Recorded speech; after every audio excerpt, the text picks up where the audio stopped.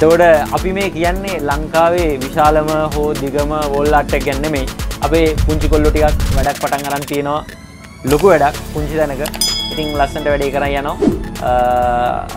අපි පුළුවන් ඉදට සපෝටයක් දුන්න ඇවිල්ල. ම තන්න ගමනත් ලොකු සපෝටයක් හම්බුණා මේ කොල්ලන්ට මට කියන්න මල්ලි කවුද මේක මූලික වෙලා පටන්ගත්තේ කාගේ අදහස? කවුද ආරම්භ කරේ?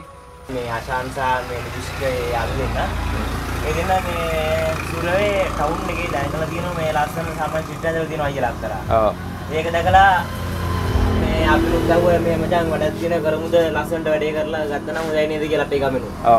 එතර මේ මාත්තුව හාය අපි කවරුත් ඉන්නේ අපිට අන්දින පුළන් ඉන්න අපි කොමරි සල්ලිකුතු කරලා මේ වැඩේ කරමුයි කියලා එතට කොම සායෝගය දොගලන් ලැබුණ මේ වැඩේ කරන්න ගමින්? හරි කොකාගෙන හරි සපොටයක් ලබුණද? ඕ සපොට්ට ලැබුණ. සාමාන්‍යෙන් මේ ළඟළඟ පැත මේ කඩවල්ලාර්මය තියෙනවා. ඒ මමලා සාමන සල්ලි ගල්ල දුන්න. තව අපි එකතු කරලා ගත්ත සල්ලි. සාමන තින්තවට තින් යන විදම ගොඩක් වැඩි හිද එතකොට තව දවස් කියක් විතර යයිද මේ වැඩ ඉවරයක් කරන්න ඉවරගෙන යන්නේ. දෙකින් වගේ පුළුවන්. ඉතින් වැඩේ කරන්න යනවා මොකද මල්ලි අන්තිමට කියන්න තියෙන ඉතින් සමාජ මක්කරි පණිවිඩියක් දෙනව දෝගොල්ලො මේකින්? මොකරි කියන්න තියෙනවද?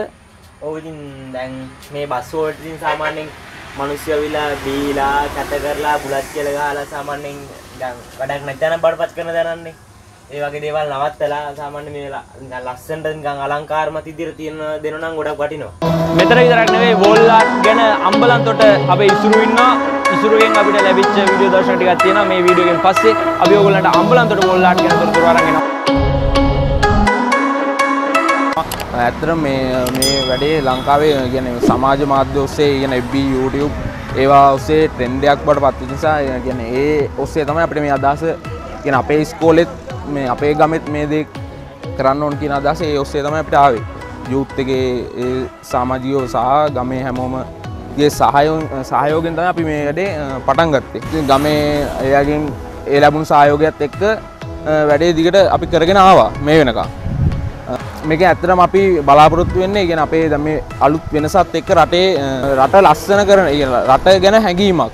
රට ගැන ආඩම්බරය රට ගැන හැඟීමක් ඇති කරන තම ඇතරම අපි මේ මේ වැඩ සතානය අරමුණ වෙන්නේ. ඒත් එක්කම කියන්න ඕන මේ වගේ මේ මහන්සි වෙලා කරන ගෙන තරුණු පිරිස රටේන්න තරුණු පිරිස මේ මහන්සි වෙලා කරනද විනාස කරන්න නැතුව ඒදේ රැකගන්න ඒදේ රැකගන්න ඒදේට තව සයෝග දෙන්න පුළුවන්න අනිත් ඉන්න පිරිසරත් ඒකල් ලොකු දෙයක් පෝස්ටර් අලවනවට වඩා දේශපාලනය මුහුණු පෙනෙනට වඩා පන්සල ඒ වගේම බෞද්ධ මුහුණුවරක් ගන්න පුළුවන් අවස්ථා අපිට පෙන්වන්න පුළුවන්. පාරිසරික අතිනුත් මානසික අතිනුත් මේක සාර්ථක නිර්මාණයන් සාර්ථක වැඩපිළිවෙලක්. දැනුම තියෙන ගුරුවරයාගේ ළඟට අපි යනවා ඇදිලා.